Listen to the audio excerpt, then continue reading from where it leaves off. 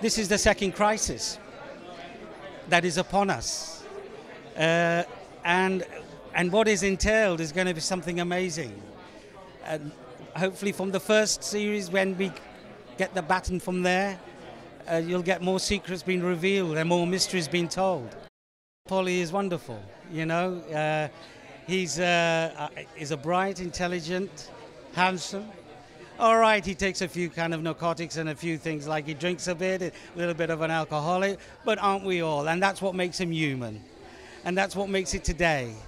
And that, and that, in, that, in that respect, for me, the second crisis really represents where we are today as human beings.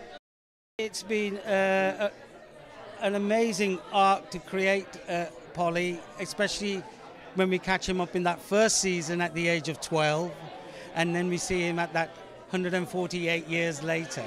And another lovely thing is he says, I think why he's lived so long is because he always wanted to see what was on the other side of that mountain.